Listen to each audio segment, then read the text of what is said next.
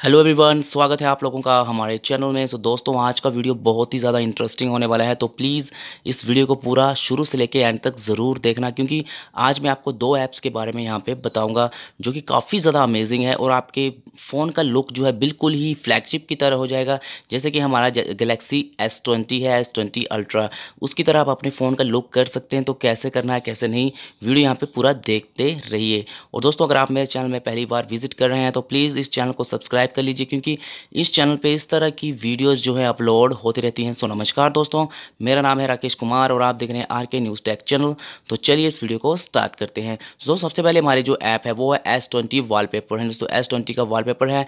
इसका मैं लिंक आपको नीचे डिस्क्रिप्शन पर दे दूँगा। तो यहाँ पर आपको एस के सभी वालपेपर देखने को मिलेंगे।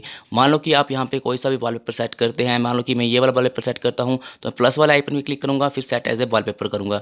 तो यहाँ पे ऐड आएगी, फिर आप बैक करेंगे तो ये वालपेपर जो आपके फ़ोन में सेट हो चुका है। तो ये एस ट्वेंटी का वॉलपेपर है और आपके फ़ोन का लुक जो है पूरा एस ट्वेंटी की तरह हो जाएगा और बिल्कुल ही कोई भी देखेगा, बिल्कुल ही चौंक जाएगा। अब हम जो है दूसरी ऐप के बारे में यहाँ पे बात करेंगे। तो दोस्तों, जैसे कि आप लोगों को पता है, जैसे फ्लैगशिप डिवाइस में आपको ये साइड बार मिलता है ये वाला तो ये आप किसी भी एंड्रॉयड डिवाइस में से इंस्टॉल कर सकते हैं और आपके फ़ोन का लुक पूरा जो है फ्लैगशिप की तरह हो जाएगा तो कैसे करना है? इसके लिए भी आपको एक ऐप डाउनलोड करनी होगी, जिसका लिंक भी मैं नीचे डिस्क्रिप्शन पे दे दूँगा, दोनों ऐप्स का तो आप वहाँ से जाके डाउनलोड कर सकते हैं। उस ऐप का नाम है एज एक्शन तो ये आप डाउनलोड करके अपने फ़ोन में एज जो है एज स्क्रीन जो है यहाँ पे इंस्टॉल कर सकते हैं। तो कोई भी देखेगा, वो बिल्कुल ही चौंक जाएगा। तो दोस्तों, ये था आज का वीडियो, मैं आशा करता हूँ आपका वीडियो ये पसंद आया होगा। सो बाय बाय टेक जय हिंद बंदे मातरम।